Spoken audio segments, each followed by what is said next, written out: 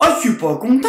Il y a Robert Ménard qui veut ficher les musulmans. Ouais, c'est Robert Ménard. C'est l'ancien fondateur de RSF. Reporter sans frontières.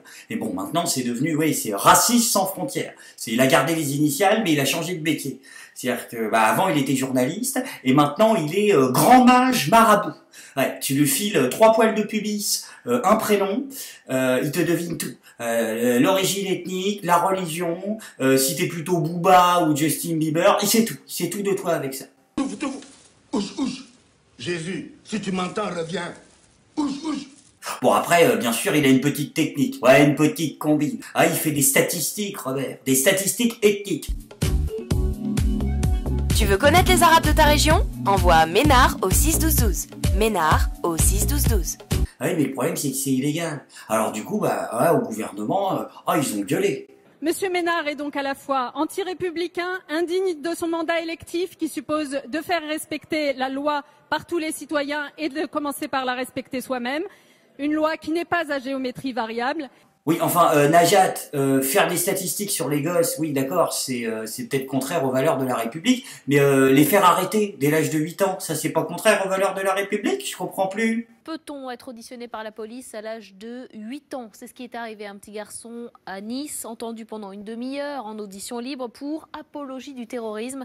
Donc à nouveau, je le dis avec force, non seulement cette équipe a bien fait de se comporter ainsi, mais son travail de suivi et pédagogique et social est évidemment une œuvre utile. I hope so, but don't foutu de ma gueule. En plus, Najat, je comprends pas pourquoi tu gueules. Toi qui es en train de refaire tous les programmes d'histoire pour expliquer à la terre entière que la France est un pays de nazis et de collabos, avec Robert, t'as une ligne de plus à rajouter. Regarde, euh, 732, euh, Charles Martel repousse les Arabes à Poitiers. 2015, Robert Ménard fiche les Arabes à Béziers. Voilà, c'est bon, t'as le programme. Ce qu'il y a entre les deux, oh non, on s'en fout. C'est de la merde. C'est l'histoire de France. Les nouveaux programmes, ce professeur d'histoire les a découverts il y a 15 jours. Il y a des indications en gras et des indications en maigre, comme on dit en caractère d'imprimerie. Ainsi, en cinquième, l'enseignement de l'islam serait présenté comme obligatoire, tandis que celui de la chrétienté au Moyen Âge serait facultatif. Il y en a un autre qui était pas content aussi. Oh bah c'est Manuel Valls. Oh de Dieu qu'il a gueulé. Parce que quand il s'agit de l'essentiel, c'est-à-dire de la République, de nos valeurs, de l'avenir de nos enfants, de la concorde, de la manière de vivre ensemble, les élus de la République doivent être exemplaires. Ah mais là aussi Manu, je veux pas être méchant, hein. Bon déjà avec tes histoires de blancos, de white, de machin, hein, on va pas en reparler. Puis euh, je te rappelle que t'as la mémoire courte. En 2009. 2009, Manu, quand t'étais dans l'opposition. Non, tu te souviens pas? Tu sais, quand on parlait de statistiques ethniques, tu sais que t'avais des idées qui... Hein? S'attaquer aux discriminations, il faut une véritable photographie de ce qu'est la réalité de ce pays, de ce qu'est la réalité ethnique de ce, de ce pays. Et donc c'est la raison pour laquelle je relancerai, nous relancerons l'idée d'une loi sur les statistiques ethniques, à condition évidemment qu'elle soit encadrée par la loi. Le Conseil constitutionnel s'est déjà prononcé là-dessus. Ce qu'il faut dire, Manuel Valls, c'est que, c'est que les statistiques ethniques aujourd'hui sont strictement interdites. Elles sont interdites. Bah alors Manu, qu'est-ce qui s'est passé? T'as changé d'avis? Le changement, En plus, là aussi Manu, je suis désolé, mais je comprends pas pourquoi tu gueules. Bah non, Robert Ménard qui compte le nom des enfants musulmans dans sa commune, il trahit pas les valeurs de la République, non? Il prend juste de l'avance pour la prochaine loi sur le renseignement que t'es en train de nous pondre, c'est tout. Voilà, comme ça, il t'épargne le boulot. T'as juste à débouler à la mairie, hop là, tu ramasses les copies. Ah, avec Ménard, t'es tranquille, il collabore. C'est vrai que le mot est bien choisi, hein, parce que je suis désolé, mais alors c'est peut-être que moi, je sais pas, mais à chaque fois que je le vois jacter, Ménard, c'est dingue. Je me dis, tu lui rajoutes la moustache, t'as l'impression de voir un mec qui sort du casting euh, pour le rôle de Adolfo Ramirez dans Papy fait de la résistance, c'est la même gueule.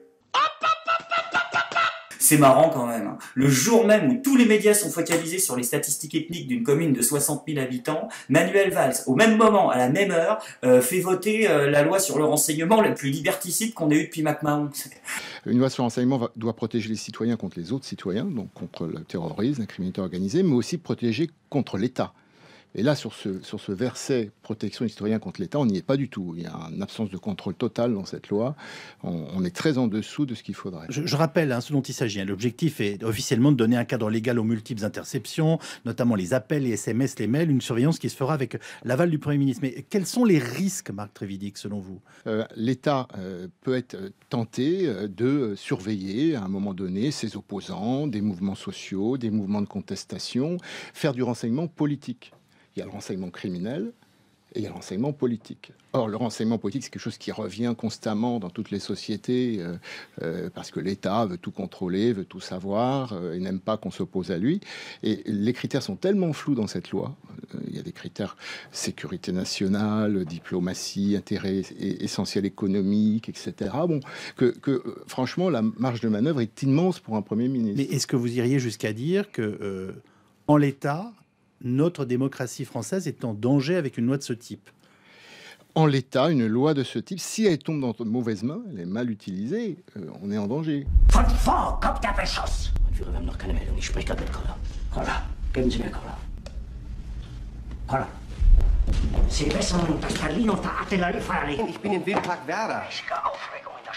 Die Russen sollen eine Eisenbahnbrücke über die Oder haben. Der Feind hat keine Eisenbahnbatterie an der Oder. Es handelt sich hier nicht um Fernfeuer. Der Divisionsgefechtsstand der Flak am Zogen gemeldet, dass es sich hier um Geschütze nur des Kalibers 10 bis 12 Zentimeter handelt. Die russische Batterie ist bei Marzahn in Stellung gegangen. Das sind ja nur 12 Kilometer bis zum Stadtkern. Ist der Russe schon so nah? Man müsste die ganze Luftwaffenführung sofort aufhängen!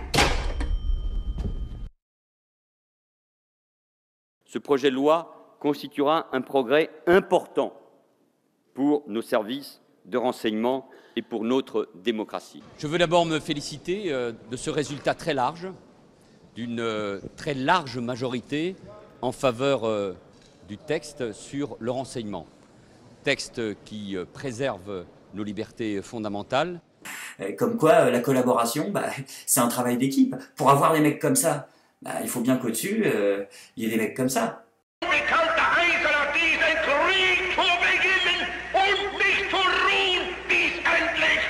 Heureusement que je suis pas conspirationniste, sinon je pourrais penser que tout ça, euh, c'était fait exprès, hein, comme au Front National. Ça aussi, c'est bizarre, le nouveau casting.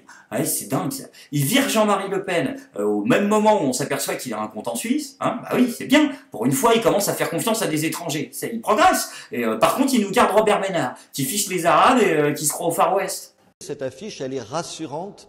Elle est rassurante pour les Biterrois. Rassurez-vous, Madame Bourdel, c'est français, c'est la police française. Bon, attention, je dis pas que les policiers de Béziers hein, ont quelque chose à voir avec les saloperies de Robert Bénard. Non, les policiers de Béziers font très bien leur travail avec le peu de moyens qu'on leur donne. Hein, ils sont très efficaces, particulièrement ces derniers temps dans la lutte euh, contre euh, le trafic de cannabis. Plus de 120 plans en pot, des lampes UV, du cannabis séché, plusieurs milliers d'euros. Les policiers de Béziers ont effectué une saisie conséquente dans le centre-ville. Une prise atypique en février puisque le cannabis ne se récolte traditionnellement qu'en automne. L'importance de la prise, les moyens de culture sous lampe et sous serre montrent qu'il ne s'agit pas de consommation personnelle. Ah oui, mais le problème, Robert, c'est que si tu continues tes conneries, les jeunes, c'est plus du cannabis qui vont avoir envie de fumer. C'est toi. Je suis pas content.